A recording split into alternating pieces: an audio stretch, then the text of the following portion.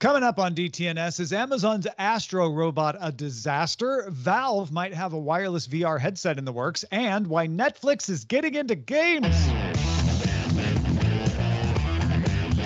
This is the Daily Tech News for Wednesday, September 29th, 2021, in Los Angeles. I'm Tom Merritt. And from Studio Redwood, I'm Sarah Lane. In Salt Lake City, I'm Scott Johnson. And I'm Roger Chang, the show's producer. We were just talking about uh, TV shows, The Foundation, Morning Show, Star Trek. If you want that wider conversation, get our expanded show, Good Day Internet. Become a member right now. Patreon.com slash DTNS. That's where you can join our top patrons like Dale McCahey, Scott Hepburn, and Bjorn Andre. Let's start with a few tech things you should know. YouTube will now take down content containing claims any approved vaccine is dangerous and causes chronic health defects. Previously, the platform was only removing content from COVID 19 vaccine misinformation.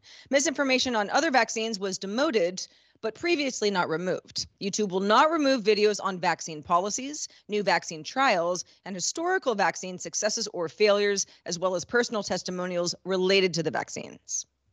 Now, we all love jelly, but you don't want it in your iPad screen. Some users have reported that the new iPad mini appears to refresh the left and right halves of the screen at slightly different rates when scrolling in portrait mode, creating what people call a jelly scroll, not a jelly roll.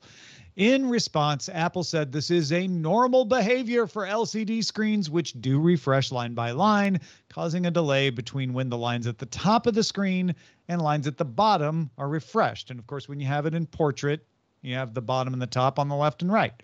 Ars Technica notes this issue is not noticeable on other 60 hertz LCD iPads that it tested.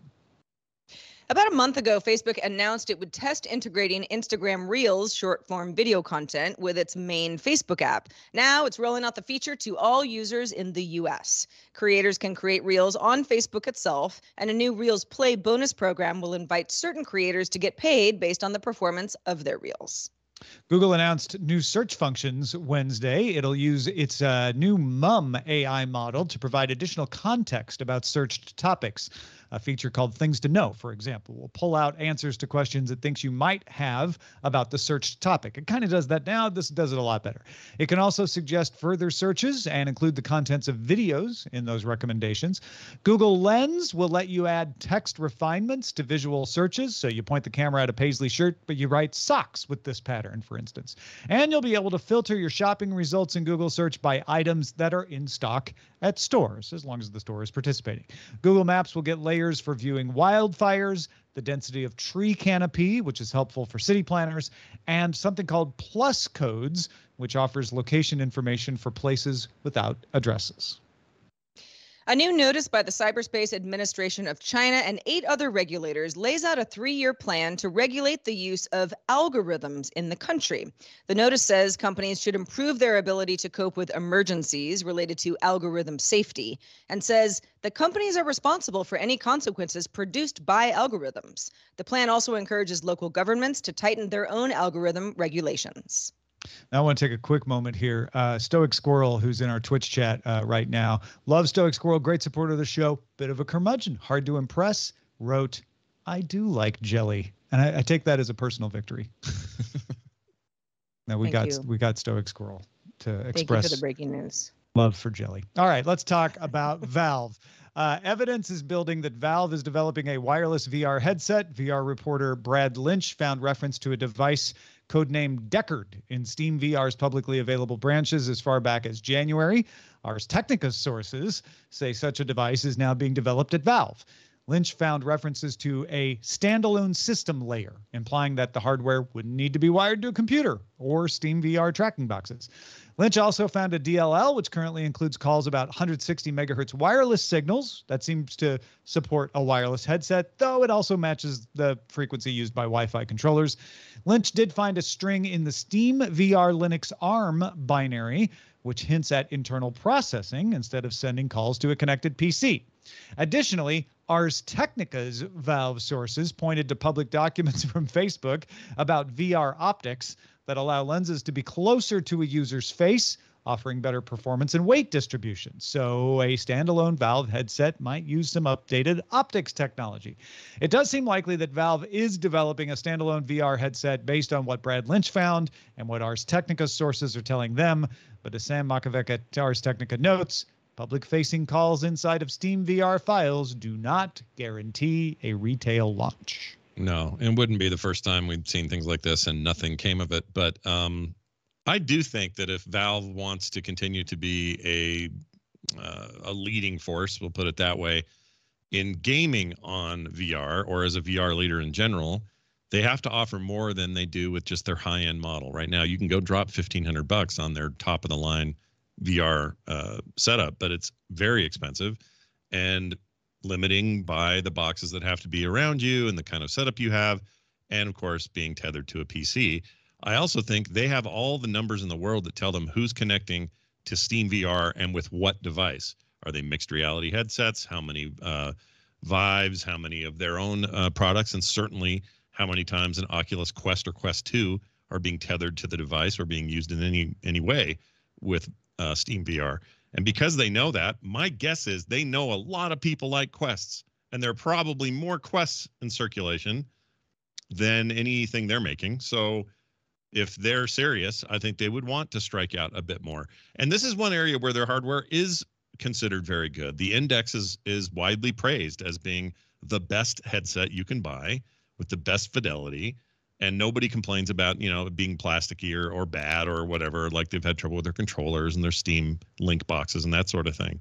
So uh, this wouldn't surprise me at all. I, I i'm actually now very much looking forward to this because this feels like uh, a probability not just a possibility. Yeah i mean i'm a huge oculus fan but that's kind of because the oculus quest is the closest i can get to where i want VR headsets to be. It definitely has a long way to go. It's too big, you know, it's bulky, it, know, puts lines on your face kind of thing. Any company that is seriously trying to develop a wireless, got to be wireless VR headset in the vein of the Quest. And I mean, obviously if Facebook has public documents about VR optics, then the Quest is going to enjoy the next gen of VR optics as much as any Valve headset that would come to market would as well. But that's a good thing. That's a good thing for all of us. Uh, the the the the headset wars eh, kind of have yet to begin. There are a few, and I think the Quest is just you know it's cheaper and it's a little bit more consumer friendly than than some of the other offerings. But the being not tethered to anything is such a huge part of it, especially if you're if you're if you're doing anything with a VR headset on where you're not sitting, you know, if you're sitting, there's a lot of folks who are like, who really cares about that cord? Well, that's that's totally valid. Uh, I don't do a lot of sitting. Uh, you know, when I'm when I'm doing my VR stuff, yeah, there are there are certain things I can't do unless I'm connected to a PC, and that you know you sort of cross that bridge when you come to it. But I think this is great. I hope this is a product. I hope this is a product that comes to market, and I hope it gives uh, Oculus a run for its money. Yeah, because it's it's tough to give Oculus a run for its money when the money it makes is off you, not selling you a Quest. Right. Uh, and so so Valve Valve can make money off you buying games. It can make money off you some maybe on data some way, but it, it can't really compete with that that massive Facebook social graph money making engine. Uh, but but maybe it can win enough support for by saying we won't monetize you unless you buy a game. Yeah, and keep in mind, yeah. you know, keep in mind, Valve's got the biggest library of any games content library on this planet. So anytime they can figure out a way to leverage that, even though they're not all VR titles, obviously they they Yeah, right. Uh, let's move on to some more gaming news. This time in Netflix's backyard, and Net- Netflix acquired its first game studio, something we've been hearing about for a while. Now we know who it is. Night School Studio. That's familiar. You may have played these games. They made the narrative-driven titles Oxenfree, After Party, Oxenfree 2 as well. Oxenfree shares a lot of thematic similarities with Stranger Things. Uh, Night School did work on a canceled Night uh, Stranger Things game. Uh, they're they're known for being a cool little indie company making cool indie games. Uh, Netflix says it intended to add quote exclusive games designed for every kind of gamer and any, every level of play. Uh, that's the uh, quote. That will be included with its membership, with no ads or in-app purchases. Night School will continue to work with Oxenfree 2 or on Oxenfree 2 as well as a new uh, set of game worlds. This is kind of exciting, but it's also a little weird I'm kind of trying to get my head around it. Um, I've played Oxenfree and Afterparty. They're great games. I would put this developer in the kind of middle space group of indies that are respected, and when they do new work, people get excited about it. Uh, but they're they're miles away from anything I would call AAA or you know sort of that big, and uh, I I'm not exactly sure what they'll make for Netflix that will define Netflix's gaming strategy. So I'm not negative about it. I just I think it's an odd pickup, but it's no more odd than the dozens of others they could have chosen from that are a lot like these I, guys. I, I figured it out. I figured it out. Yesterday's news that Netflix was releasing just casual games that had nothing to do with their shows shook me. It shook me to the core of my belief that Netflix was only into games to extend its existing properties. But this has clicked for me. What Netflix wanted to do was be Gamefly. Remember Gamefly? Oh, Net- yeah. Gamefly was the Netflix of video games. You could have a video game sent to you, you play it, and then you send it back, you get another one sent to you. What Netflix is doing is pretending as if it used to be Gamefly. Because what it did with videos, TV shows, and movies was transition you from we have all the shows on disc to we have a bunch of shows on streaming to we have original shows you can't get anywhere else on streaming. I think my new theory is they are leapfrogging into video games the way into the stage where they buy Millarworld to start creating content for Netflix, where they are are going to just start making games, some of which may extend their properties. They will take advantage of that synergy with Stranger Things and other. I, I, I imagine they'll continue, but also to just be the Netflix of games in the way that they are the Netflix of TV shows right now by having great original shows, not necessarily relying on libraries. I totally agree. Um, in fact, I, I I couldn't agree more now after hearing about this acquisition. Keep in mind, Oxenfree 2, which is not as actually published yet, will likely publish as a Netflix published title. Yeah. Anything they're working on right now, they're not going to go change and reskin to be Orange is the New Black themed. They're gonna they're gonna keep making the games they make. In some It's ways, like a this is like a Scorsese film coming out in the Right, theaters exactly. with a Netflix thing in front. of it. exactly. It's not unlike Microsoft's thing with their acquisitions lately. They're buying a lot of developers, but they're sort of saying, all right, well, now we own you. So we're going to publish you and we're going to leverage our, our platforms with you. But you're still going to make the games that made us want to buy you. And I think that's what this is. And I hope that's what this is because that's what it needs to be uh, for me to be on board. So I think it's uh, going to be interesting. See how that goes. Well, Anthony Colangelo from the Main Engine Cutoff podcast uh, gives us some good information from time to time. And he sent us some information on a company called Lynk that can emulate a cell phone tower from a satellite, providing satellite connectivity to an unmodified LTE phone. Lynk was recently successful going in reverse and sending data from a phone to a satellite connection. And Anthony has more info. Anthony Colangelo back again from mainenginecutoff.com to follow up on the cell phone satellite connectivity story that I talked about a couple of weeks ago on the show. At the time, I was uh, putting some water on the rumors that the iPhone 13 would feature satellite connectivity. We now know that is the case. But at the time, I also told you about a company called Lynk, that is Lynk with a Y, who is testing satellites in low Earth orbit that can communicate with unmodified cell phones. And I talked about the test that they ran in February of 2020, where they were able to send a text message to an Android phone on the Falkland Islands. But what we didn't talk about was the other direction the cell phone communicating with the satellite. This was the big thing that they had not yet demonstrated at the time. Well, they just announced today that they, over the last several weeks, with their fifth satellite, they've been testing exactly that cell phones being able to communicate through the satellite, send messages up to the satellite rather than just receiving messages from their satellites. They were able to do these tests with several different cell phones in the United States, the United Kingdom, and the Bahamas. Uh, they also say they were able to reject cell phones that were not communicating with the satellite in these tests, which is important to be able to figure out who is and who is not communicating with them at any given time. So they have completed their end to end flow here uh, on their test satellites, their test cell phones. But once again, this is unmodified cell phones communicating to satellites in low Earth orbit and back down again. The full flow that they need to be able to offer service. They've signed a couple agreements with a couple different carriers in, in a few countries at this point. They have five satellites on orbit right now, hoping to have about 10 by next year.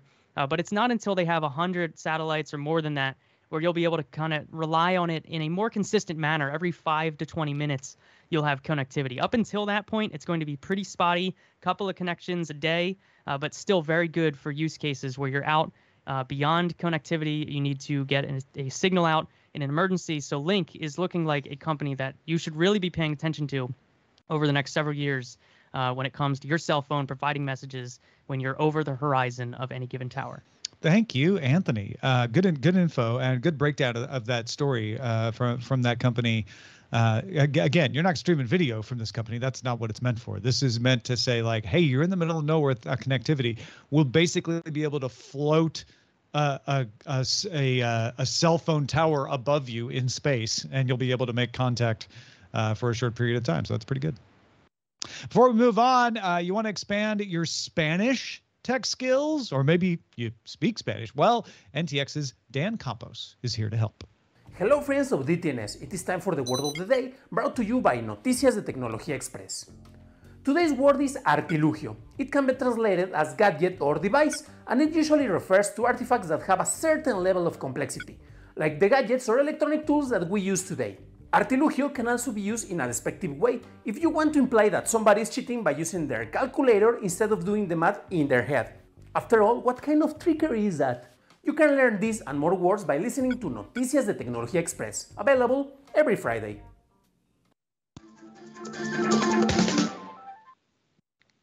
Motherboard obtained documents and talked to some people who worked on Amazon's Astro robot who didn't have entirely complimentary things to say about it. Motherboard uh, it took issue in, in its write-up with how Astro can register the faces of users in a home and try to identify them when interacting. And I, have seen others taking issue with this as well. It's an optional security mode. Then think what you want, but keep in mind this is not something that's always on or has to be on. You turn it on. And when you do turn it on, it causes Astro to investigate sounds or smoke or follow a person it doesn't recognize after 30 seconds of trying to recognize them. It'll then record audio and video, which it uploads for users to review. It's a security camera, basically. Users can turn Sentry mode on or off by the app or voice. You can say, if you've got friends coming over, like, hey, turn off Sentry mode, and it'll turn it off.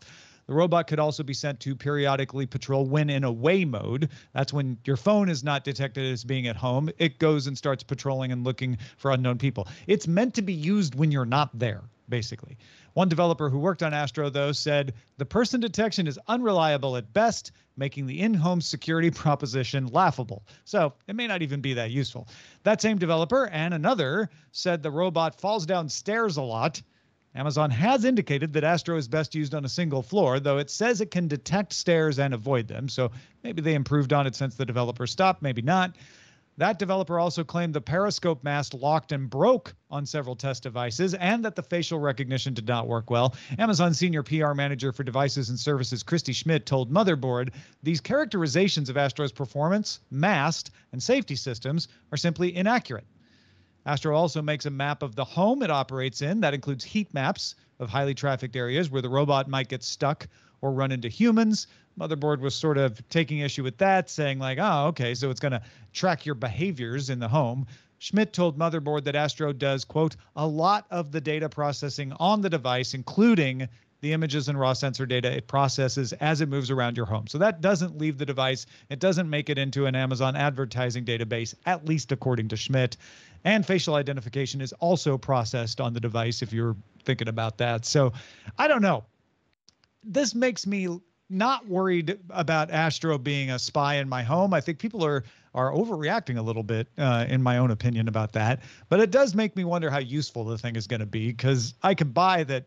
You know, given the state of a Roomba's ability to detect stairs, that Amazon might not have made great strides. Yeah, this the motherboard article reads it. It could kind of read a couple different ways. One is a disgruntled developer who thought yeah. the project was stupid and maybe you know there were decisions made that the developer wasn't happy about and says mm-hmm. you know this is probably not a very good device anyway um, but uh, assuming that that some of this is some of this has has merit uh, it sounds to me like you know using this as a I, I thought you'd appreciate that using this as a security device when you're not home so putting it in, in in that sentry mode i don't know how much security unless it was sort of I don't know, half behind a curtain in the corner, silently recording a thief. You know, it's it's pretty. It's it's gonna. It's it's it's the the robot is going to uh, announce itself pretty easily. If somebody's Well- in there stealing your jewelry, it's not going to be like, oh, that robot It's not coming gonna up to stop me and them. yeah, yeah, that's true. Yeah, it's although, like, although cameras this act doesn't as a seem deterrent. like. so Could, a rolling camera might be even more of a deterrent. I Yeah, mean, or just something that you you chuck out the front door or something. I, I don't know. I this doesn't. It just doesn't. It seems like something that would be a great way, such as the Amazon drone we talked about yesterday that flies around inside your house. Something to just kind of check on stuff when you're not around. That I get. I Mhm. also like the idea of personalization when you are home, where it's like I'm looking at you, Sarah. I know some of your preferences, and so I can customize what I spit back at you. You know, when when you're trying to get information uh, from me that's all cool i just don't i don't know how much the complaining about falling downstairs yeah is any different than really eh, any other device that shouldn't fall downstairs. What I what I want out of this, if I want it at all, and I'm not sure I do, and not at that price anyway, but um, the future of this is like you mentioned, Sarah, something that can kind of take a look at things while I'm not around, where whatever that may be, if I'm out of town or whatever, but also tied into other devices that are enabled uh, to work with Amazon services. So, for example, to know that there's maybe a sudden increase in temperature in the house and it doesn't know why, and it's it knows that because the thermostat told it that something's up, and so Thermostat just notifies tell you that. you. It doesn't need to tell Astro. Right. It it doesn't. Well, that's true. See, this is the point. Is those things are already kind of telling my phone anyway. Yeah. But I guess the robot could like go over to the other side of the room where the where the and, get, furnace do- is and and take a take a look for you and show Sure. you like, hey, here's what's going on at the furnace. See anything weird? Yeah, yeah. No, that's Yeah. true. the idea of that I think that of it less as a is really security thing and more as a way to spy on my dogs uh, once they get used to it uh, and don't try to chase it. Um, but I, I bet there are unanticipated, non-creepy uses of it. Uh, I could see, for instance, maybe saying, "Hey, Astro, come here. I want to look at my schedule," and it rolls over and and looks at you. Or or or you're you're sitting in another room and you want to listen to music and and and there's no echo in that room. You're like, Astro, come in the living room and play me some my, my playlist. Uh, want to hear that new Olivia Rodrigo song or whatever. feels like a it feels like a device that may have forgotten we have phones. You know what I mean? A little bit. It- like But- if I need to check No, a schedule. uh, This way, you don't always. People want to reduce their phone usage. This could, you know, it's ambient computing. That's what Amazon was talking but then about. you're you like, have it's to pull in your my phone out. You're like it's in my pocket, but the But robot's maybe four it doesn't rooms need down. to be in your pocket. Maybe you can. You don't have to carry it around. Oh, The- you'll the- always be. the, Go ahead. the main well the main problem is the price for me but the second problem you know that perhaps the bigger problem is this is clearly not something that can get downstairs so you don't put the robot up on a shelf or tuck it away it's kind of got to be you know in the have a direct line of of wheel motion from wherever Mm. wherever it kind of hangs out when you're not using it and that requires space not too much space but you'd probably want to have it up against a wall or in a corner Yep. and it's like if you've got a house full of things i don't Yeah. have one corner to spare You already have three vacuums over there that you don't use. yeah I'm talking about myself there, but yeah. Yeah. Maybe when it vacuums, then we'll then we'll talk Amazon. Yeah. All right, uh, let's get to this really interesting Top story. Astro on top of a Roomba. Yeah, exactly. The High Court of Australia ruled on September 8th that because media companies encourage comments on their Facebook posts, that they publishers or the publishers of those comments must moderate them or be liable for the contents. CNN, uh, now CNN has become the first U.S. media organization to restrict Australian users from accessing its Facebook pages. Australians will not be able to access Facebook pages from CNN, CNN International, or pages for individual shows from CNN. According to ComScore, CNN gets 2 million of its 166 million unique users from Australia, though it is unknown what percentage of those 2 million come through Facebook. The Wall Street Journal's uh, source said CNN asked Facebook for the ability to disable comments on its pages in Australia, but Facebook said it could only help disable Australian comments on a post by post basis. CNN chose to disable all access rather than moderate comments on a post by post basis in the end. Yeah, I mean, this could be a little bit of sour grapes on CNN's part, and it probably is a little bit. It- it- They they probably can't help but but be a little upset. Like, okay, fine, if you're gonna do that, we just cut it off, cut off Australians altogether. A little bit of biting your nose to spite your face there. But on the other hand, Facebook doesn't make it easy for you to block a country from comments. You could turn off comments altogether for everybody in the world, or you can leave them on. And what us and what Facebook's is saying is we're not going to make a special feature to block Australians on all your posts. We will try to help geo restrict comments on a post by post basis. Although I wonder why. Isn't wouldn't it be easier for Facebook to just build in some new functionality to give CNN a checkbox for that? I I feel like that would be easier for Facebook too. So I must be missing something. Well, then they could apply Yeah. it. You wouldn't be one. Well, it would kind of be a one size fits all solution. So if it works for Facebook, or excuse me, for CNN to do CNN, this, it would yeah. then pass it around to everybody else who wants to do this. Other media organizations that do Facebook posts in the country, let them have the same option. I think they should do that. I hope they do. Sorry, Sarah, I cut you off. No, it's okay. I um I eh, you know, at first I kind of didn't understand this. I was like, "Hold on a second. It it's sure it's like one little extra step, but every time CNN posts something, they could just say disable comments case by case." But I wasn't thinking about country specific. That would be something that I would think Facebook would have to build internally. But then that would be a great thing. It would be a great thing for lots of publications because CNN isn't going to be the only publication that runs into this. And Australia is not going to be the only country where this is a problem.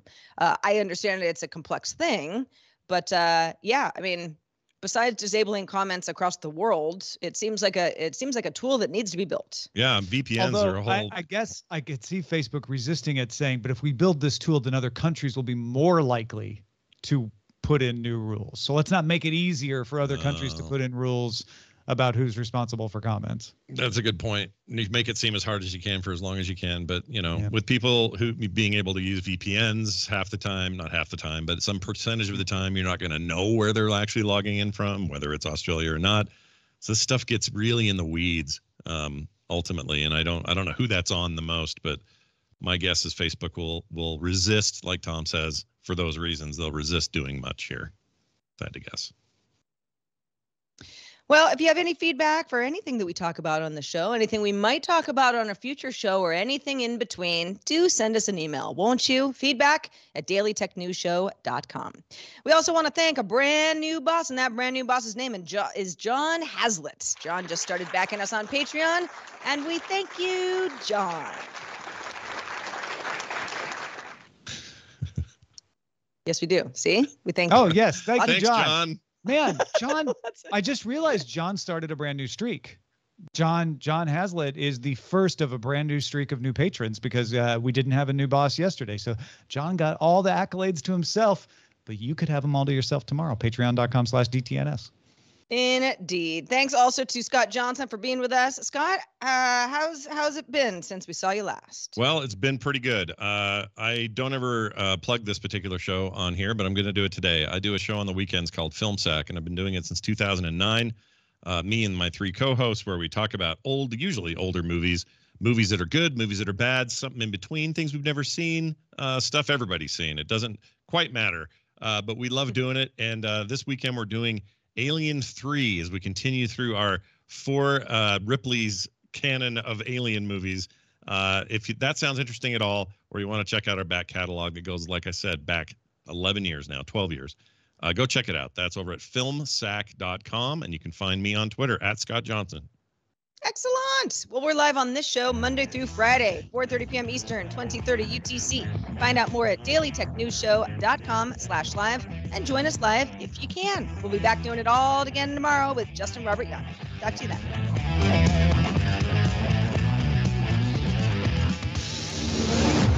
This show is part of the Frog Pants Network. Get more at frogpants.com hopes you have enjoyed this program.